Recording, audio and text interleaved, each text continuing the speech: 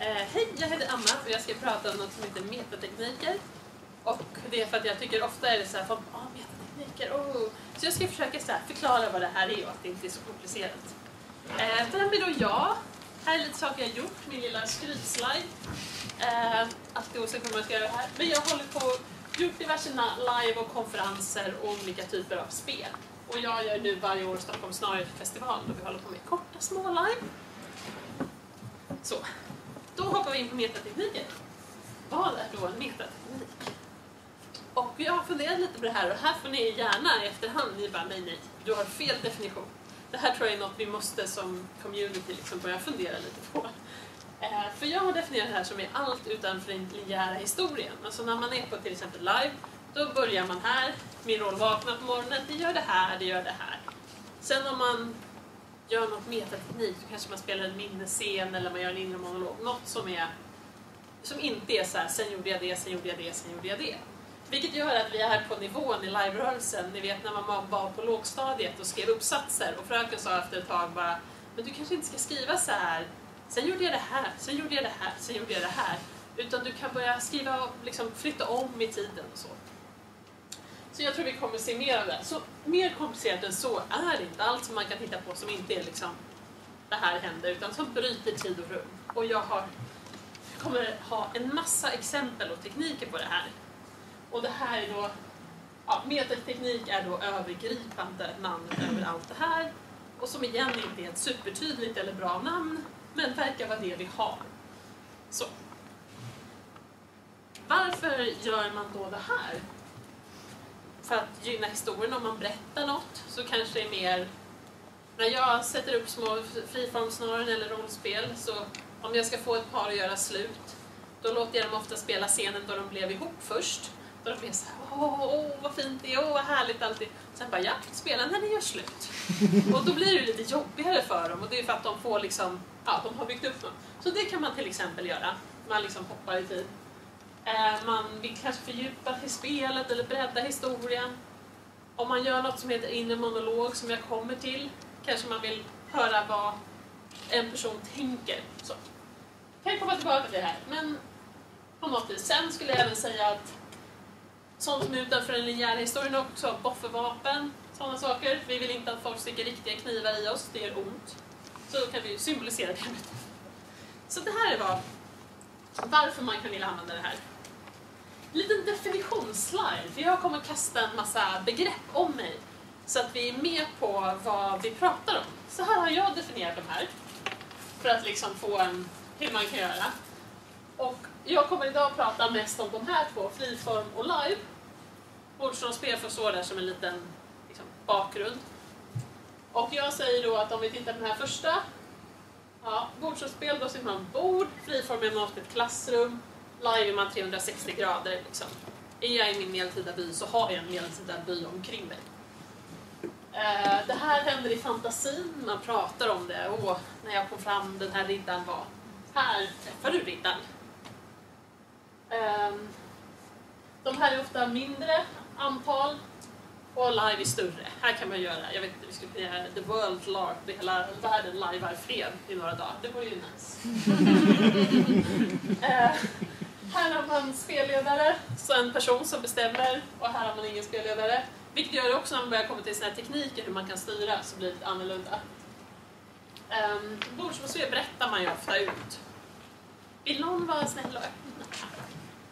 Och kasta in dem. Ehm, uh, Bordsrollspel berättar man ju ofta, jag gjorde det här när man sitter ner. Men i de här två fallen så står man ju upp och agerar och gör. I live står man kanske i sin skog och bara oh.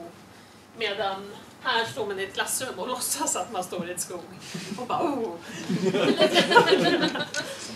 um, och här har vi ju sandbox och med det begreppet menar jag att man har liksom som en sandlåda. Går du på, på på vägen mot byn. Då är, du har liksom hela världen. Trillar, möter du någon av slump, jaha, då möter du den. Okej, så pratar ni, då kanske du byter väg. Så live kan du göra vad du vill liksom. Du bara, men idag ska jag gå och bada och så träffar du på någon och så kommer du inte iväg till badet för att du blir, det kommer en armé i vägen och ja, vad man nu vill. Och här kan du ni också i ert äventyrargäng kanske bestämma att vi ska göra det här.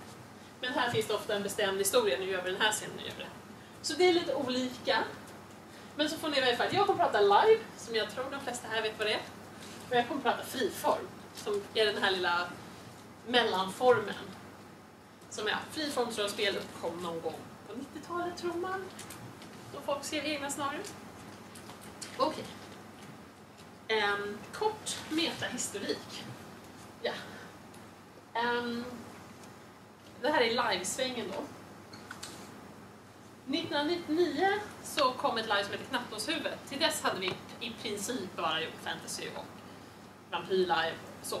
Och Knappnålshuvudet var det live då man började bli intresserad av hur fungerar rollen, vad händer med rollen? Alltså det hade ju funnits innan också, men här det utspelade sig på ett självhjälpshem så det var väldigt liksom rollfokuserat.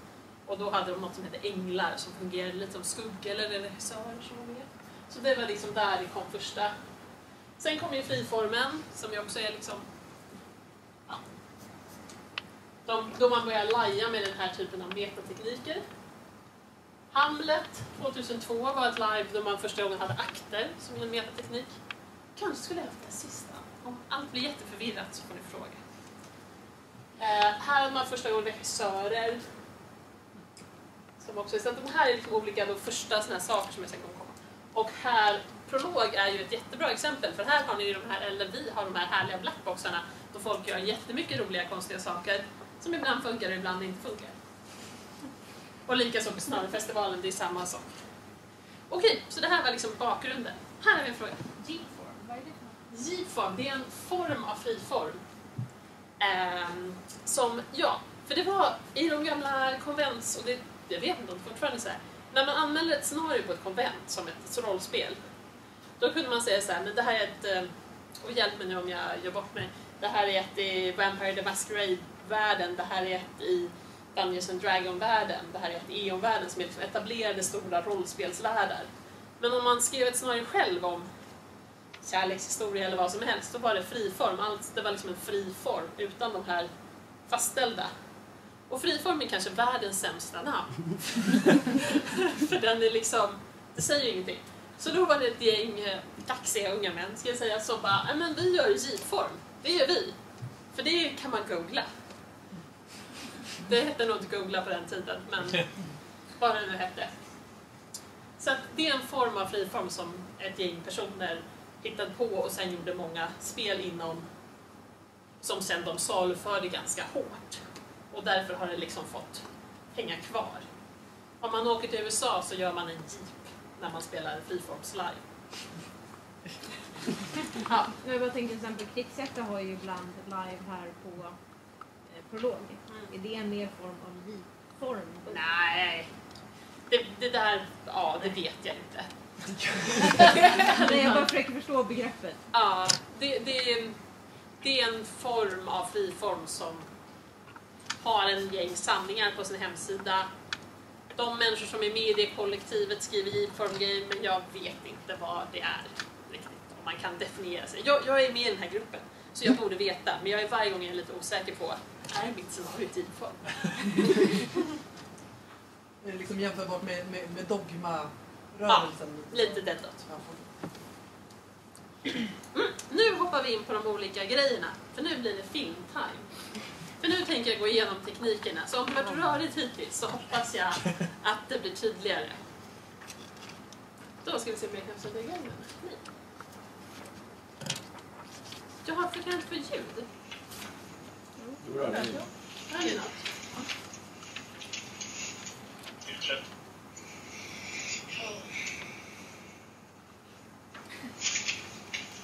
Vad kan man säga där?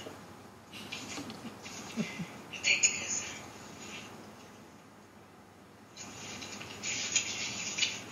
Du, det där huset som var till salu. Kanske skulle titta på det i alla fall. Vad skulle det tror jag visa? Ja, Det kan bli jättemysigt att bo i hus, man vet. Om vi ska få barn så är det perfekt. Med ett stort hus.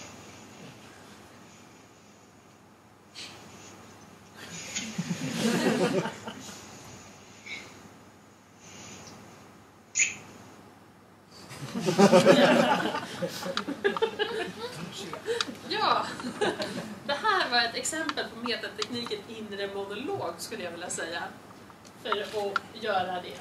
Och en inre monolog det är alltså när eh, man uttrycker vad rollen känner på insidan. Skulle jag göra det nu så står jag här och föreläser och sen skulle jag gå så här. Undrar om man är med? Kanske skulle jag lagt den i en annan ordning. Skulle jag förberett mig mer? Ja, en inre monolog är alltså da, da, da. Så det är så man liksom berättar vad, vad man tänker. Och det kan man göra för att få ut vad karaktären verkligen känner. För ofta spelar man ju kanske en karaktär som är eh, som kanske speciellt om man ja, som är stängd, som inte vågar avslöja saker. Du har en jättestor hemlis som din karaktär och pratar aldrig med någon. Eh, då kan det vara skönt att kunna få ut det här. Och så vad jag skrivit här, man mycket social yta om man är ett sånt här släktträff och bara Gud vad roligt att se er alla. Jag hatar er alla. Eller, så att där kan man göra, det är ett sätt att göra med det. Så det är karaktärerna som kan, det vill säga ja, karaktärerna kan kommunicera med varandra. Um, så det gör den. Och om man gör det som en, om man, hur kan man göra det här? Man kan göra det som en spelledarinstruktion. Det vill säga om man är i den här lilla friformgruppen, eller friformgruppen, för att det är för komplicerat. Nej, men då kan man som spelledare peka på någon. När jag spelleder använder jag jättemycket. Så här, om, om du precis blivit dumpad och så, så här sitter du och gråter. Jag bara, ingen monolog nu. Hur känns det? Berätta. Så. um, och då är det ju lätt, för då är man i en, liksom, då är vi fyra personer, kanske fem personer i ett rum. Jag kan nu liksom verkligen, och alla kan fokusera på dig. Är man på ett stort live med några hundra deltagare, då har man ju inte den lyxen att någon kan bara gå in och bara För det måste ju vara tydligt liksom, när är du din roll och när är du din rolls tankar. Och andra sätt det har gjorts på i live, för det har experimenterats med att göra med i live, det är att man gör ett fönster då man kanske står här och lajvar och sen gör man ett sånt här och då berättar man, jag är ju egentligen kär i Putte. Nej, jag vågar inte bjuda ut honom. Nej. Eller vad det nu råkar vara. Så den, det gjordes på Mälarbatte Boy för några år sedan. Jag tror inte den har satt sig, för den är lite svår. Det blir lite otydligt liksom. Men det kan funka bara nu. Det är ett sätt. Det har även gjorts med att det är en speciell plats i rummet. Um, vi hade ett rum som var liksom ska vi se, herrarnas bridge-rum då de satt och spelade bridge. Eller vad man nu spelar. Någon sorts avancerat kortspel och rökte konjak eller ja, ni vet sånt där. eh, så hade vi en liten fyrkant i rummet där de kunde sitta där och bara Åh, Butte, du och jag, vi kommer göra så mycket affärer, det här kommer bli så kul. Och så kunde man gå upp och ställa sig på den här rutan och bara Åh gud vad jag ska blåsa honom. så. Om man då, för då är det liksom Det här är också varför man lajvar och hur man lajvar. Om man liksom intrigspel-lajvar och gäller att vinna, då kanske det inte är så jättebra att avslöja det här, men, men vill man göra en bra berättelse, då kanske Putte fångar det här. Och han bara, åh vad ska jag göra affärer? Vet du vad, jag investerar mina extra aktier. För det kommer ju bli episkt när han blir låst sen. Beroende på hur man vill göra. Ja, en annan sak man kan göra är att sitta eller stå eller ta ett steg tillbaka. Jag har lajvat något ibland. Jag tror vi satt på något, ett gäng stolar och så fort man reste sig upp var det... Ja, man kan flytta sig, eller som jag gjorde lite här nu, så bara, åh, ny plats, ny ställe. Det kan man experimentera med. Det finns även något som heter doktorpsykolog som används ibland. Då man har en person som kanske är klädd i svart eller något, som är liksom meta, igen detta fantastiska ord, um, som går omkring och liksom vi, hade, vi arrangerade, eller jag arrangerade ett live som handlade om ett 60-årskalas där vi hade ett litet rum där det satt en psykolog. Och då hade ju inte den här personen som fyllde 60 bjudit en psykolog till sitt kalas med sina gäster. Även om det kanske behövs ibland. Utan det var ju en metafunktion som man då kunde gå och prata med för att förstärka kanske de känslor man känner. Eller någonting. Eh, och då är man ju den elaka psykologen. Och man, är lite orolig, min mamma hon verkar inte älska mig. Nej, det tror jag nog inte. Vill du berätta mer om varför hon inte älskar dig? så, så man är ju aldrig liksom goda. Så. Och eh, doktorn använde dem vi, när var det? Det var 2002 tror jag, då vi satt inlåsta i Varbergs fästning. eh, eller i Varbergs fängelse och spela 70-talsaktivister. Och här är vi alla som bara, jo det går att lajva själv. Nej, det var jättetråkigt. Eh, för man satt ensam i en cell och så dök doktorn upp.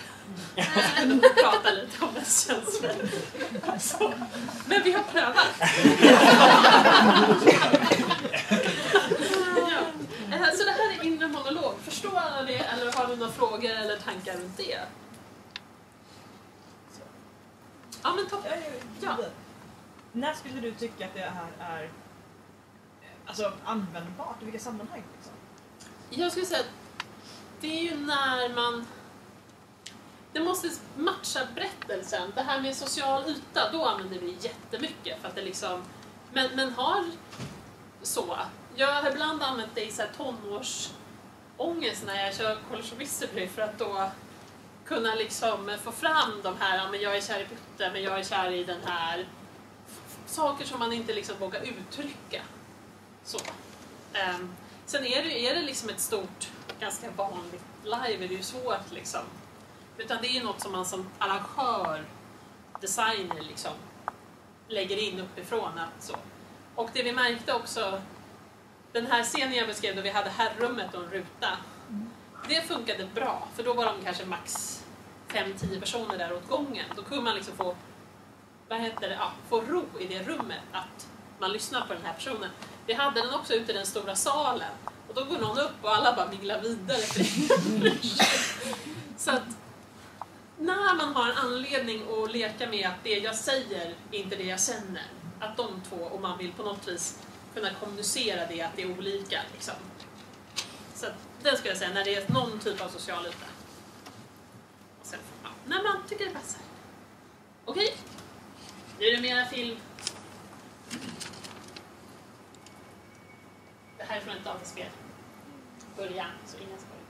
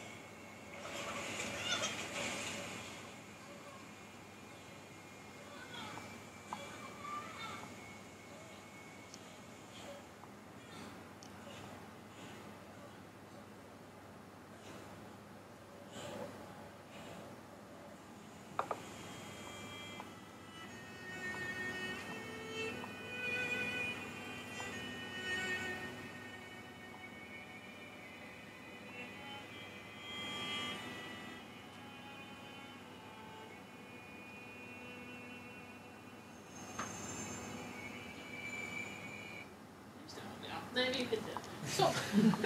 Nu, ja, det här är vad jag skulle säga var en metascen.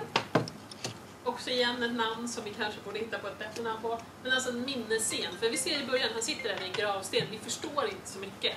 Så gör de ett klipp tillbaka när det här händer. Och då blir det ju mycket starkare där han sitter där igen. Så att det här är ett sätt att liksom hoppa i tidsmässigt. Eh, och det kan man göra med minnen. Och det är egentligen samma sak att göra med som den här precis innan man ska göra slut någon spelar man när man blev ihop. Det är precis samma sak. Jag brukar ha min, min liksom tre regler jag försöker komma ihåg. Minnen, möjliga framtider och så den här göra slut-grejen. Då kan man ju spela när man får sitt första barn och sitter där jättelyckliga. Men det kommer ju inte hända. Nu ska ni göra slut. Det är lite, ja. Så och sen what ifs, om vi gjorde så här istället. Så, så man kan spela på lite ja, minnesscener och framtider. Och varför vill man göra det här? Man vill kanske kontextualisera, precis som de gör i det här klippet. Liksom, varför sitter den här killen här vid den här gravstenen? Det är inget vi förstår.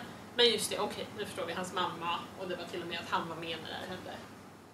och för att ge oss en starkare upplevelse. Um, så här är liksom den, man gör olika typer av scener. Och hur kan man göra det här? Och igen är det friform, kan man bara peka. Jag, jag gillar friform. eh, och i live har jag liksom inte riktigt sett det göra så här storskala. Det gjordes ett, på ett live, jag var på som ett Tusenrosornas väg, som var byggt i ett fort, eller vi hade byggt ett stort fort i en skog och så, och så blev fortet intaget halva livet in. Det här var liksom inte riktigt arrangörernas plan. Det blev en morgonattack som kanske var den efter, efter Bofferstriden görs takt för det stod folk i torn och sköt armborst och alla dog. De var lite så här. Så det blev en lite konstig paus sen där. Då alla bara, jaha, hur gör vi nu? Och då bara, det var en dröm. De körde en klassiker, det var en dröm. Men eh, liksom dag två, då var vi ju extremt mycket räddare i det där fortet för vi visste ju att de kan ta in oss. Vi hade ju sett såhär, vi, det här kommer gå, de kommer aldrig kunna inta fortet. Det är liksom Titanic av fort.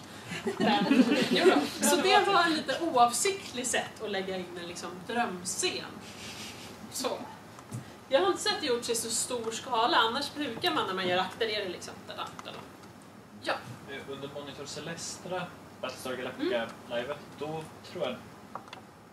Jag vet att vi blev intvingade där i alla fall, Ja. men jag för mig att det var att alla karaktärer skulle gå igenom någon så här psykologutvärdering och så jag minns som att det var någon form av holodeck-variant. Men där i stort sett gick man dit och så viskade man i örat till en av personerna en scen man ville spela upp och då fick man spela upp den så. Och där tror jag syftet var att knyta, eftersom att i Battlestar Galactica-historien så har ju den, alltså civilisationen har just kärnvapenbombats tillbaka till stenåldern och det finns 50 000 överlevande människor på ett skepp. Liksom. Och då att koppla tillbaka det här att världen gick under för en vecka sedan. Eh, vad minns din karaktär från bortanför den punkten? Liksom så, för att så att man hade någonting med sig resten av livet under. Ja, det där är också ett jättebra exempel. Ehm, de gjorde det som... Ja, nej, men man, man kunde gå för att utforska minnesutforskaren eller någonting. Jag, precis, och då fick man så här, jag vill spela när min mamma dog. Eh, och sen så fick man, jag tror de gjorde, det var ganska tydligt för man fick sätta sig på en stol med några konstiga glasögon och snurra. tror jag. Det var någon Ja, konstig snurra någon liten litet varv. Ja, men det var en väldigt tydlig liten ritual, för det var ju viktigt liksom. Så att det inte blir osäker. Är vi i dåtiden eller nutiden? Och så hade, man, hade de hängt upp lite lakan och en projektor. Ehm, så. Och sen fick man spela ut den här scenen med de här psykologerna eller forskarna eller vad sjutton de nu var. Ehm, och så fick man liksom känna på den scenen. Och det var väl också en ganska snygg så här indiegesis. Eh, vi gjorde det lite på College of Wizardry på mina lektioner då jag fick kasta spells på folk. Så bara, berätta om en traumatisk scen nu. Vi tar fram. För de gör, ju, de gör ju bokstavligen talat det i Harry Potter när de drar de här minnestrådarna. De drar silvertråden. Det är er som sett det. Ja.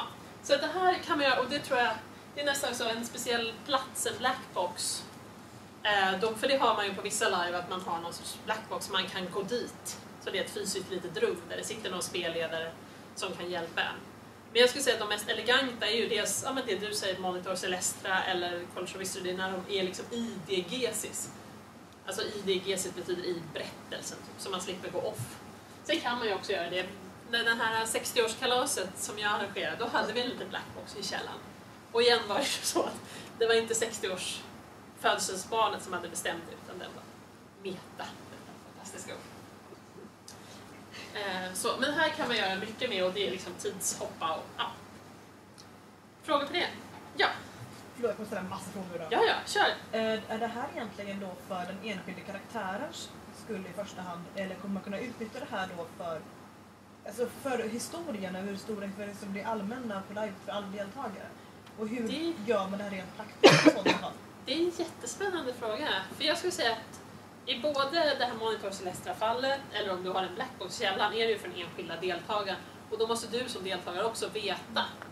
När jag gjorde det på College of Wizardry med de elever som var seniors som generellt var erfarna lajvare, de förstod ju direkt. De bara "Åh, nu här kommer min must, nu ska jag må dåligt.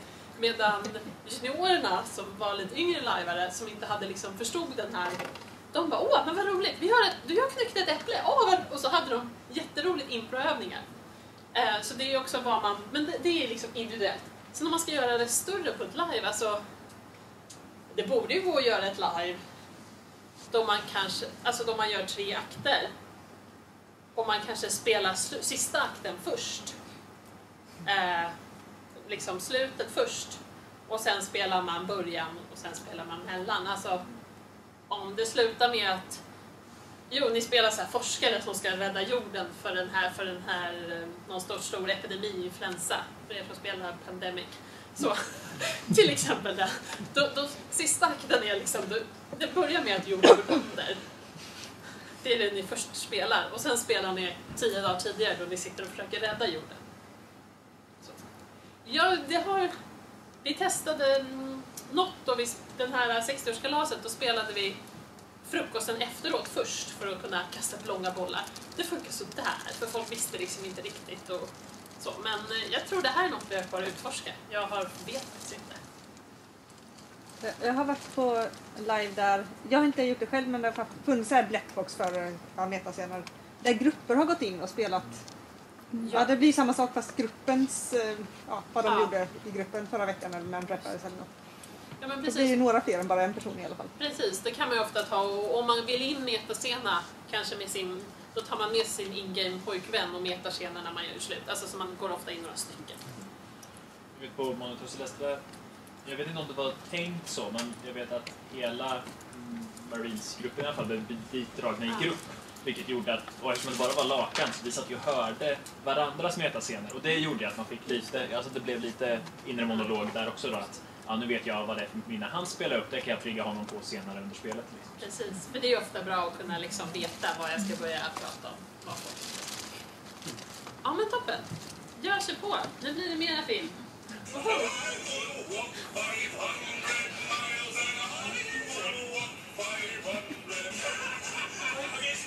Vi får se hela.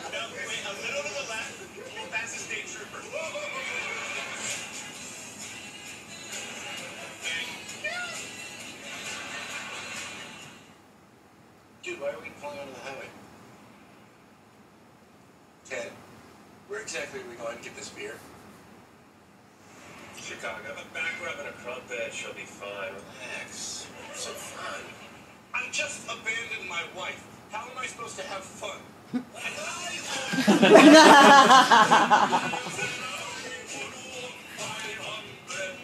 hey, you Ja. Ni förstår grejen. Eh, tidshopp, och i det här korta klippet hann de ju med två. Först var det 99, sen var det nutid, sen var det fyra minuter senare. Ja. Så. Och det här kan man ju också hoppa. Och det är klart, det här och det vi pratar om med metascener går ju in i varandra. Men här ja, hoppar man gärna. Det är så här, ni spelar åh, ni blir ihop, det är jättesött. Så kommer ni in som den onda spelaren och bara sex månader senare, ni gör slut. Så. Och, och man kan hoppa år eller månader och hoppa fram och tillbaka. Och något jag använder ibland om jag spelleder och behöver få folk att liksom sprida på så här, tre öl senare samma kväll. Vad har ni gjort nu? Det beroende på vad man vill. Eh, och ett exempel är ju Just a little lovin' som är ett live som utspelar sig i en fest 82, 83, 84. Så mellan varje kväll så går det ett år. Så. Och då gör de liksom hopp. Så då är man off på dagen innan man går på nästa. Och varför vill man göra det här? Visa utveckling, man kanske vill... Alltså egentligen om man spelar typ... Gud, jag kan men jag tänker vissa typer av strategi, dataspel. Jag tänker mig Europa Universalis och de här, då är det ju per år gör man ett drag liksom. Rätta mig igen om jag har fel. nu. Så, så att man vill liksom få fram um, och ja, spelinstruktion eller akter. Bortom barrikaderna kördes på prolog förra året. De gör ju också det. De bara, första dagen när jag precis kommit, sen är det en dag senare och så är det en dag senare. Jag kommer inte ihåg exakt, men de gör ett litet tidsval. Och det är ju, det är ju däremot, skulle jag säga, ganska lätt att göra på live i stor skala. Liksom. Man, man bara, och har gjort ganska mycket. Liksom. Man bara, ja men här är vi lite aktbrott eller stopp eller på något vis signalerar man man kan antingen säga aktbrott, okej det har gått sex månader. Eller så gör man ett ljusspel eller något och så går det sex månader. Det man behöver göra är ju att eh, alla har ungefär koll på hur lika lång tid som har gått. Och synka. Ja, men har vi varit tillsammans de här sex månaderna? vad gjorde vi egentligen? Vad hände? Yesterday Lovin hade, när jag körde i Sverige i alla fall, väldigt bra liksom.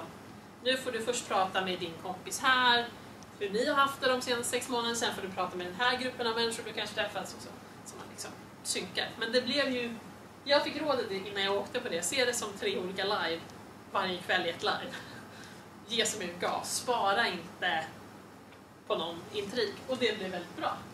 Och ja, Har du något exempel på, eh, har det gjorts sådana här tidshopp med akter utan att spelarna är medvetna i förväg om att det ska ske? Ehm, jag vet, jag tror inte det. Jag kan- inte komma på ett exempel till top of mind. Och sen är jag ganska anti-hemlisar generellt. Jag tänker om det är ett sånt live där man liksom går in med att okej vad som helst Just kan det. hända. Nej, jag vet inte om det har gjorts. Ja, Hur skulle du se på att det kommer sequels? College of Wizardry hade en sequel som man inte visste när man spelade. Brände ut vissa intriger. Sen kom en sequel några månader senare. ja, alltså nu har jag varit med på de här och tycker det är ganska mysigt att sequel-lajva. Men, men man Vad får ju... det? Alltså live en, ja en sequel det är att live, jättebra eh, fråga. Live ett andra live. Man gör ett live, till exempel College of Wizardry som utspelar sig i Harry Potter-världen. Åh, härligt. Ehm, och sen gick det så bra och alla de- deltagarna är så pepp.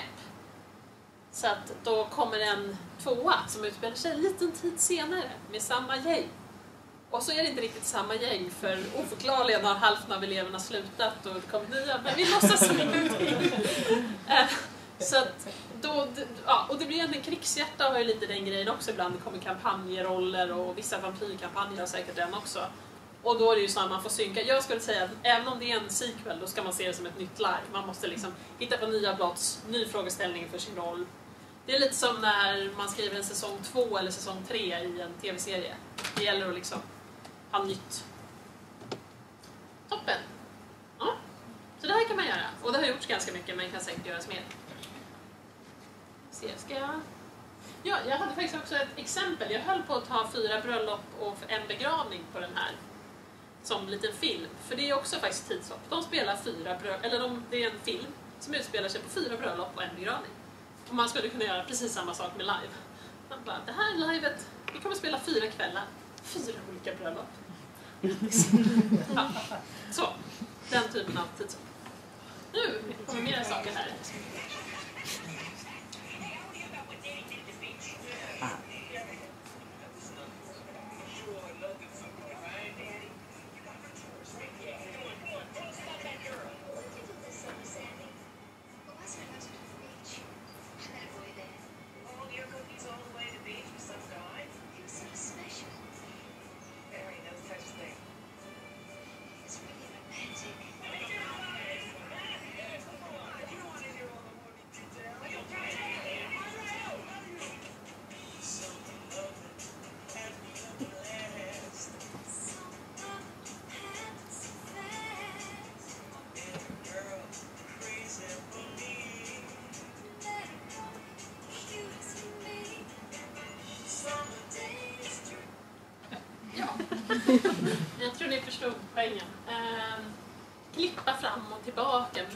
Scener helt enkelt. Och eh, varför vill man då hålla på med det här? Jo, för att skapa kontrast. Precis som de gör här. Och så kan man ju hoppas att man har uppdaterat könsrollerna lite sedan det här gjordes. Så, man, ja. Nej, den är inte rolig att lyssna på hela så.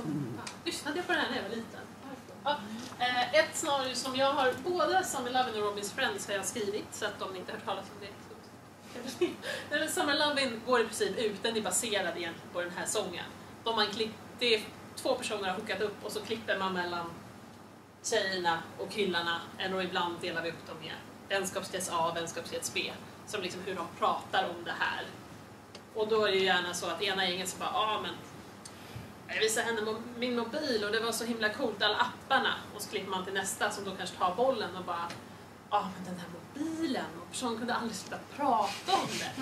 Och sen visar jag den här och det var så himla grymt. Och så klipper man och bara, ja till sist så bara håller jag upp den för jag klarar det inte längre. Så, så att den typen av liksom klippa fram och tillbaka. Och igen, har man en spelledare kan man göra det här. Eh, det har inte gjorts supermycket på live.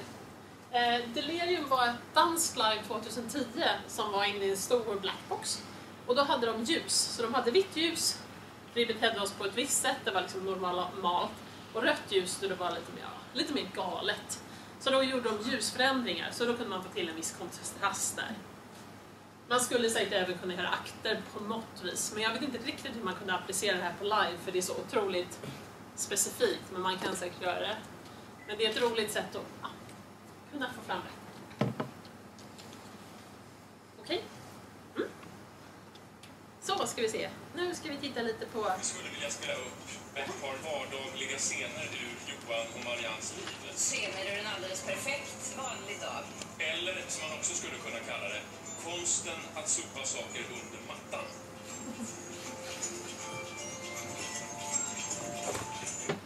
Ja, det här var från Dramaten, scener ur ett äktenskap. Och jag, när jag såg den, jag bara, de gör vad jag gör. De sätter scener. Så här håller jag på med hela tiden. Och då är det ju igen friform, man har spelledare. Och livestil, det är också svårt den här liksom, hur man sätter. Och då har jag inte heller sett det gjort så mycket. Ja, ni hör ju, jag är friformare och tycker det är roligt.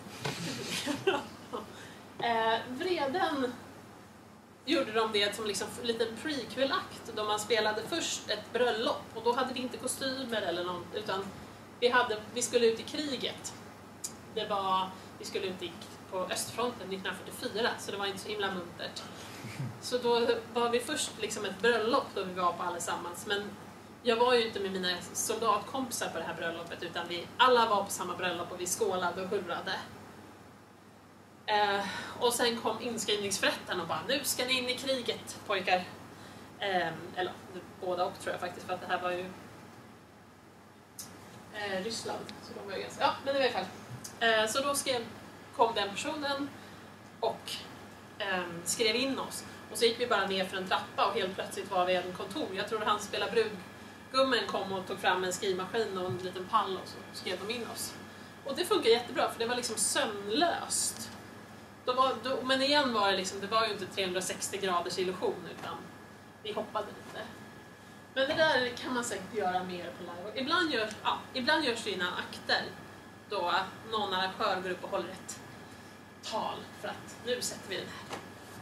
Ja, Var det briefat sen innan att det här kommer hända och då går ni in och då bara, när ni går ner för trappen så bara acceptera att nu är ni på, hos din sida? det var briefat att det skulle vara lite, inte som vanligt Ja. liksom.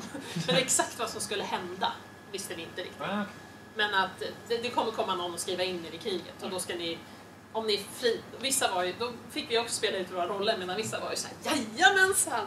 Var ju vissa såhär, eller vissa, ja, vissa ville inte riktigt.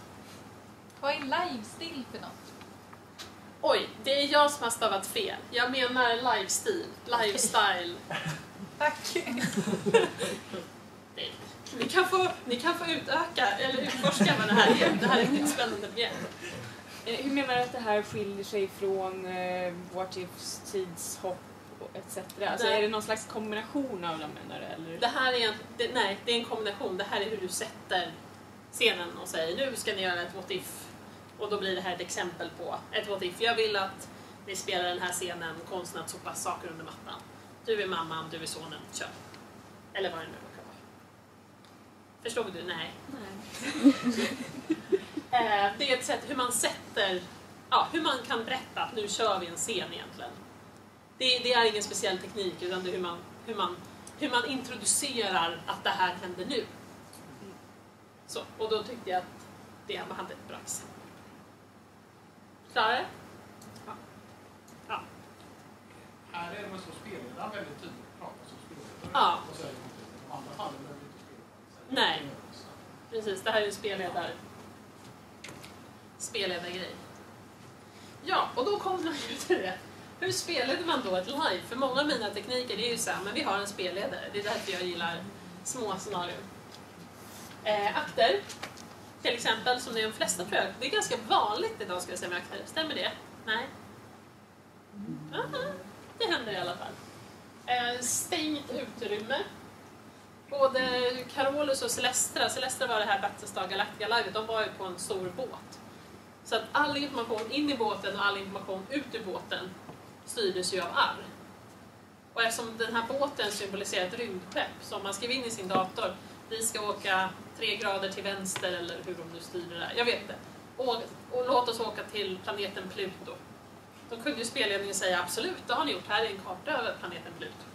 Det var ju till och med så att det var ett ubåtsspel som de hade gjort om. Så att klappade mindre så såg arrangörerna på en skärm att ja, nu har de svängt. Varför gjorde de det? Det Ja, är men- jättekonstigt. Ja, Vilket också ställde till en del problem ibland när skeppet inte gjorde riktigt som det var tänkt. precis. Det fanns ett, ja, ett system här emellan. Men det är en ganska bra, och, och den gillar jag generellt, att ha en stängd yta då man liksom kontrollerar. Det görs ju också ibland sådana efter katastrofer live, vi sitter i en bunker och så har man en radio in där all har förinspelat lite radion om att nu dör världen utanför. Så. Med massa, vad det nu var. Eh, spela mot ett mål bortom barrikaderna så var det här revolutionslivet förra året, Eva Wey, de sa ju ni kommer dö eller så kommer ni kunna smita. Men er revolution klarar sig inte, den kommer bli nedslagen. Det vet ni. Så, liksom fate play kallar man ibland det. Ehm, så. Ibland har man något som heter regissörers skuggor.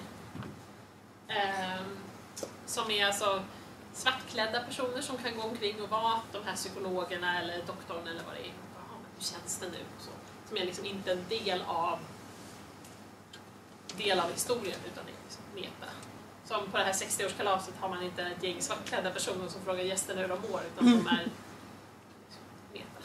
De här var väldigt poppis skulle jag säga runt 2010 kanske. Jag tror inte de används lika mycket nu, eller? Men att det är på något vis, och ibland de här skuggorna, de här röda personerna på Monitor Celestra som var cyloner, de var helt rödklädda, var lite inspirerade av de här. Och de kan också ibland lägga tyngd på en och bicka på en. Jag är ingen fan av det för jag blir såhär, fan. Men vissa, vissa, vissa gillar det, vissa gillar det inte. Eh, så. Och man kan även faktiskt repetera. Det har inte heller gjort så mycket, men så här, nu har ni spelat akten, liksom den här akten då jorden gick under. Nu spelar vi den igen. Det, det, det vore kul om det kunde hända någon gång. Förlåt, jag förstod inte riktigt. Vad, vad var Fate Play? Eh, fate play det är att man spelar mot ett mål, mot ett öde liksom. Mot ett fate.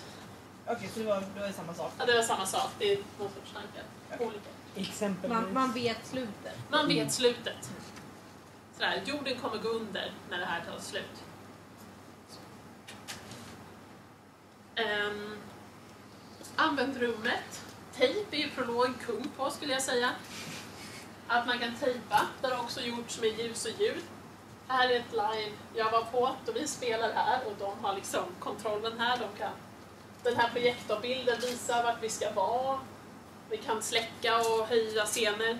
Och tejp och ljus är ju lite samma sak här. Man kan tejpa en cirkel på en golv eller så kan man sätta en spot. Och scenografi och använd det och lek med det. Här kommer vi till eh, tekniker i och utanför diagesis. Alltså i och utanför berättelsen. Diagesis är ett fancy world för berättelser.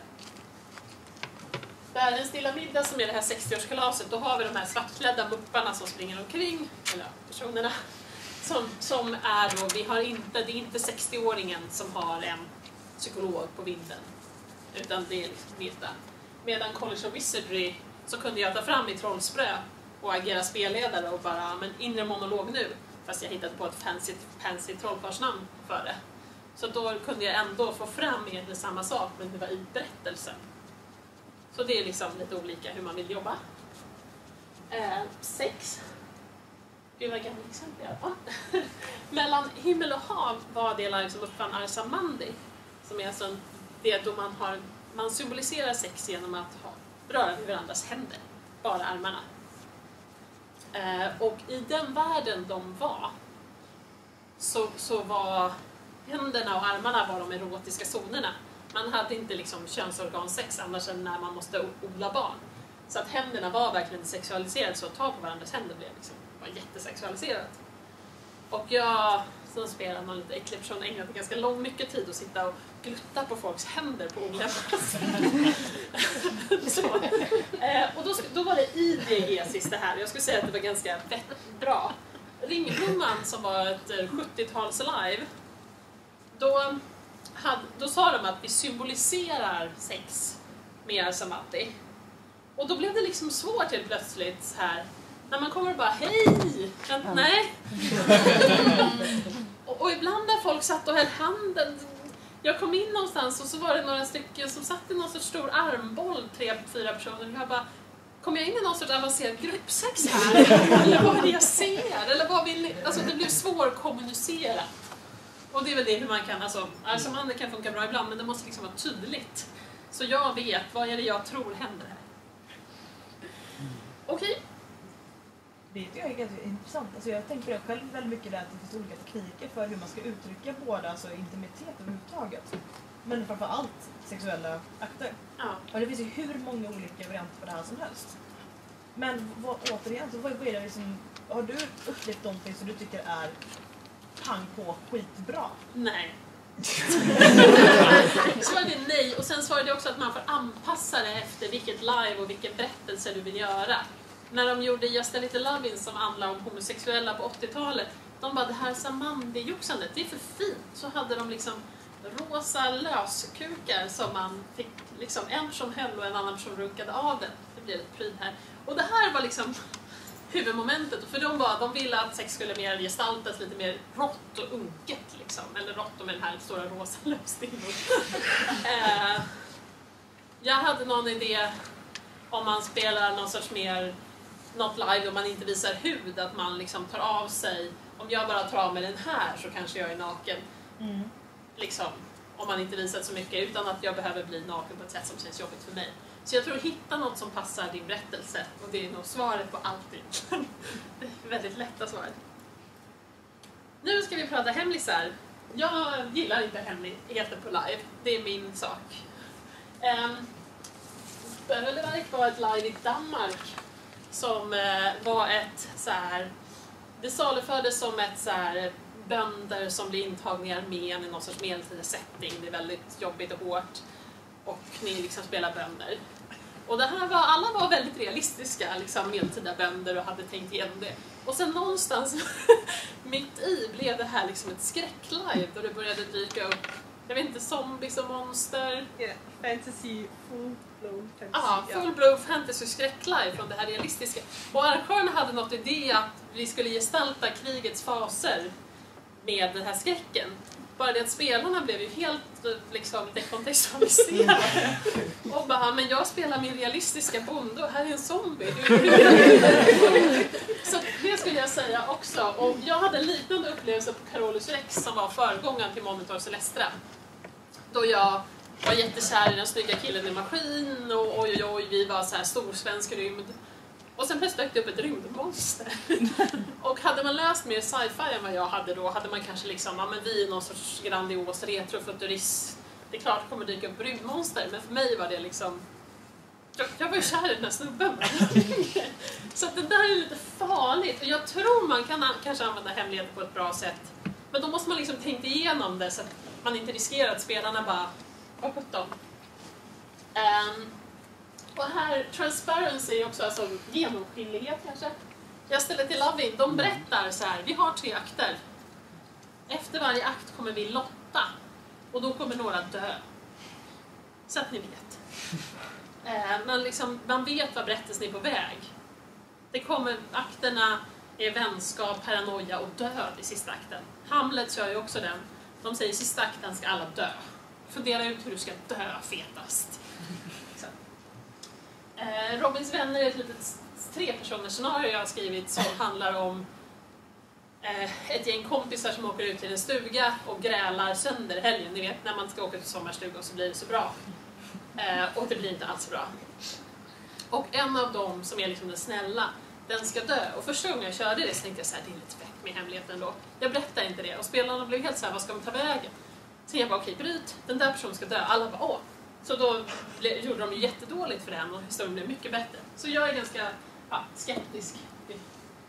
Och liksom Transparency, Fairweather Manor var ett live i Polen nu om baseras på Downton 1914 och då var de ju så här, det här är mars 1914, kriget är om fem månader. Så alla planer vi gjorde, alla tyskar jag gifte bort mina engelska döttrar med, jag visste ju att det här skulle bli så här episkt dåligt. och eh, ja, ryssarna som kommer dö om tre år i revolutionen och alla. Så det, det var väldigt fint och lite jobbigt. Så det kan man jobba med istället, liksom få den här lite jobbiga smaken i munnen som vi alla någonstans älskar. Nu ska vi se, det här blir nog min sista bild nu.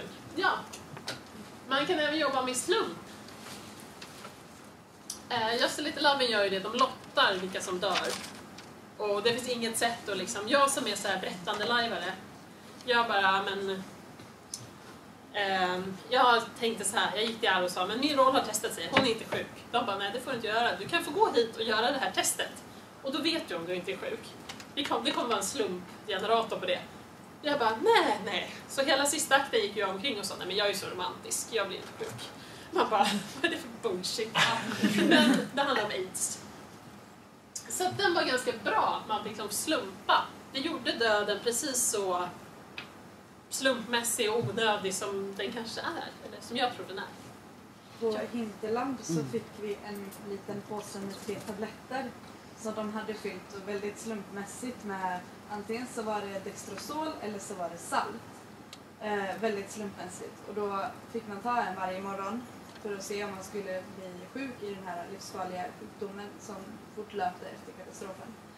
Och det var väldigt så här att sitta och ta den här tabletten och vara så här, kommer jag bli sjuk nu? Eller, det var väldigt effektfullt. Jo men det var ju, ja det låter jättesnyggt för det var lite samma här. En av de här, när man satt där på morgonen och såg ens kompisar lägga enormt många lotter i det här lotteriet. Gud vad jag grät.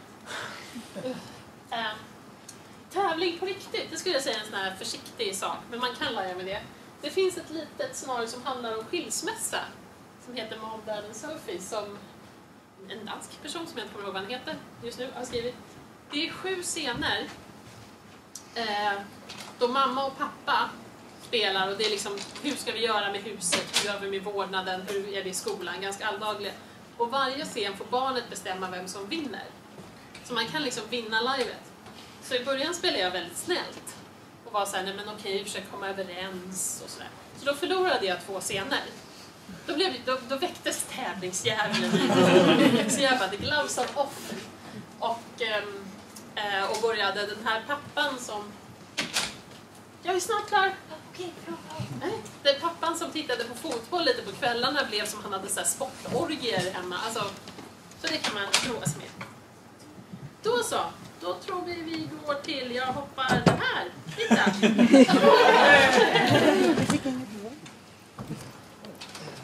Nej, ni är jättedöda. Ni kan hitta mig under prolog också och, och William Sidesen eller något. Och det här är använd det som ni tycker känns kul och använd det ni inte gillar. Eller skit i det ni inte gillar. Ja. Jag har en jättesvår fråga till dig som jag tänker att du ska få fundera på under hela Okej. prolog. Så kan vi återkomma till mig sen. Om du kunde liksom så här önska dig en metateknik för någonting som inte finns redan. Vad skulle du vilja ha en metateknik för då? Oj, oj, oj. Ja, jag får fundera. Eh, jag kan komma tillbaka på söndag, men spontant är det väl där med... Jag gillar ju ofta saker från vänskap och kärlek och spela på sådana saker. Så det vore spontant kul att kanske ha bra tekniker för sex så att det gestaltas på ett bra sätt och inte så plumpt. Eh, men jag, ska, jag ska suga på den karamellen. Sen är det ju Igen ska jag säga att tekniken, ibland blir jag så trött när folk bara, åh tekniker, man bara det är berättelsen och sen kan man hitta på tekniker som passar dem. Man kan använda det här om man vill, om det passar ens live, men vill man inte det så ska man ju strunta i dem. Det, jag, när jag jobbar med scenariefestivalen får vi en synopsis när folk skriver så här, jag vill göra ett scenario, det ska vara så här och så här. Och då ibland känns det som folk får vara lite balla, eller jag vet inte, men bara, jag ska använda jättemycket metatekniker och de här och de här och de här, Man bara, ja, peppen, hur då, varför då? Vi vill peppa dig, men ja, så att det finns ju inget egenvärde i de här. Använd dem ni gillar och strunta i resten. Men jag hoppas att ni, jag har rätt ut vad en metateknik är. Ni förstår och fråga om det är något. Ja, tack så mycket för mig.